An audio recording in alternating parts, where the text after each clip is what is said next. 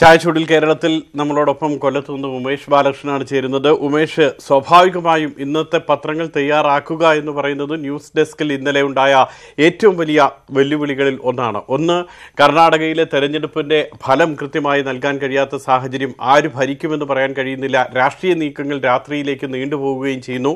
ഇതിനൊക്കെ അപ്പുറത്തേക്ക് പേജ് കൂടുതൽ ആകർഷകമാക്കുകയും വേണം. അപ്പോൾ അതിന് വേണ്ടുന്ന തരക്കെട്ട് അതിന് വേണ്ടുന്ന ഗ്രാഫിക്സ് എല്ലാ പത്രങ്ങളും അത് ഒന്നിനൊന്ന് മെച്ചപ്പെട്ട രീതിയിൽ പരീക്ഷിച്ചിട്ടുമുണ്ട്. എങ്ങനെയാണ് കൊല്ലംകാർ ഇന്നത്തെ പത്രത്തെ വിലയിരുത്തുന്നത് ഉമേഷ്?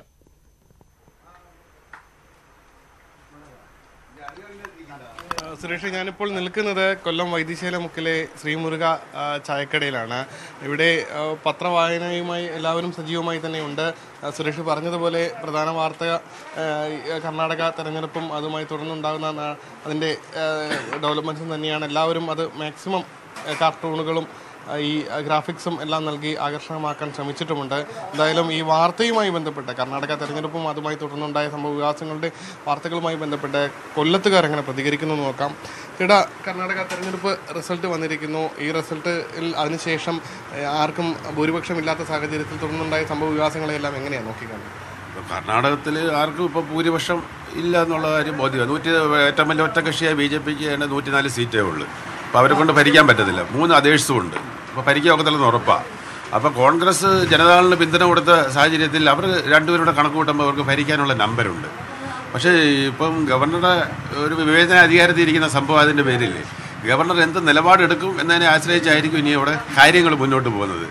എങ്കിൽ തന്നെയും ഭരിക്കാനുള്ള നമ്പറുള്ള ഇവരെ വിളിക്കും എന്നാണ് ജനാധിപത്യ രീതിയിൽ നമ്മൾ വിശ്വസിക്കുന്നത്. പക്ഷേ സംഭവിക്കാൻ പോകുന്നത് നേരെ തിരിച്ചായിരിക്കും. കാര്യം ഭരിക്കുന്നത് ബി ജെ പി. അവർ കൊണ്ടുവച്ച ഒരു ഗവർണർ ആ ഗവർണർ ഏറ്റവും വലിയ ഒറ്റകക്ഷി എന്നുള്ള രീതിയിൽ ബി ജെ പി വിളിക്കാന്നുണ്ടെങ്കിൽ അവിടെ കുതിരക്കച്ചവടം ഉറപ്പാണ് ഗോവയിൽ മണിപ്പൂരുമല്ല നമ്മൾ കണ്ടത്.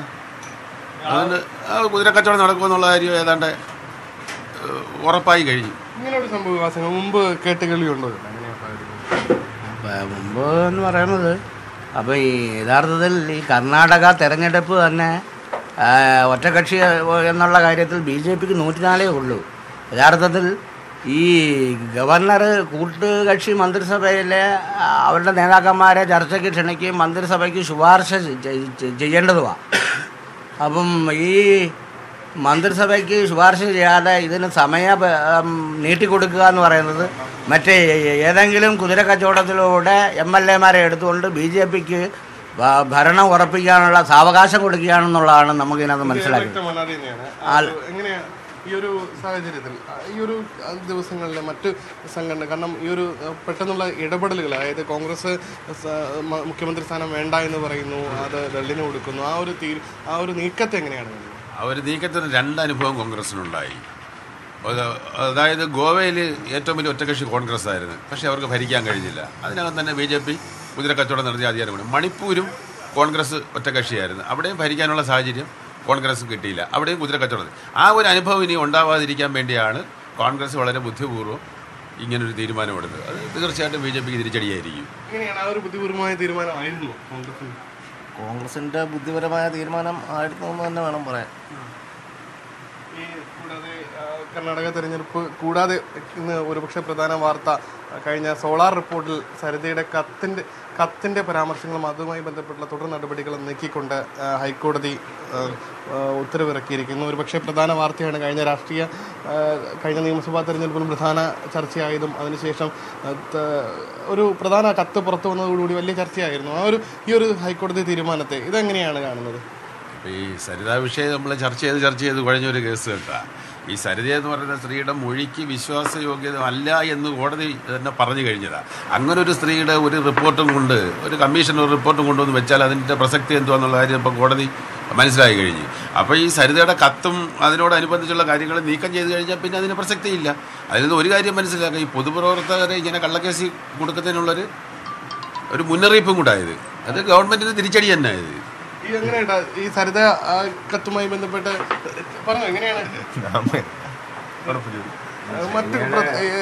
സരിതയുടെ അന്നത്തെ കഴിഞ്ഞ ഉമ്മൻചാണ്ടി ഗവൺമെന്റിന്റെ കാലത്ത് ഏറ്റവും കൂടുതൽ ആ ഗവൺമെന്റിനെ തന്നെ നാശപ്പെടുത്തിയ ഒരു സംഭവമാണ് സരിതാ സംഭവം എന്ന് പറയുന്നത്. പക്ഷേ ആ സംഭവത്തിൽ ഇത് എത്ര കണ്ട് ഇതിന്റെ യാഥാർത്ഥ്യങ്ങൾ യഥാർത്ഥത്തിൽ കോടതി തെളിവുകൾ ശേഖരിച്ചുകൊണ്ട് യഥാർത്ഥത്തിൽ ഇനി കോടതിയുടെ മുമ്പാകെ ഇരിക്കുന്ന സംഭവങ്ങളാണ് ആ സംഭവം കോടതി തന്നെയാണ് ഇനി തീരുമാനിക്കപ്പെടേണ്ടത്.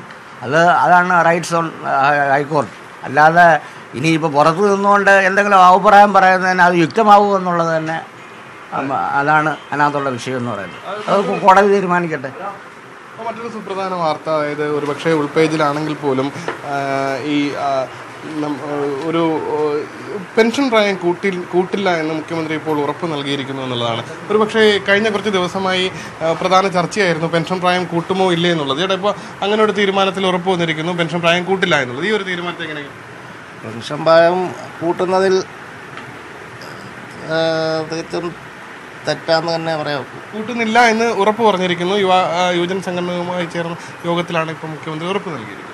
കൂട്ടുന്നില്ല എന്നുള്ള ഉറപ്പ് തന്നെ ആയിരിക്കണം. നല്ലതായിരിക്കും. നല്ലതാണ് നല്ല കാര്യമാണ് അത്.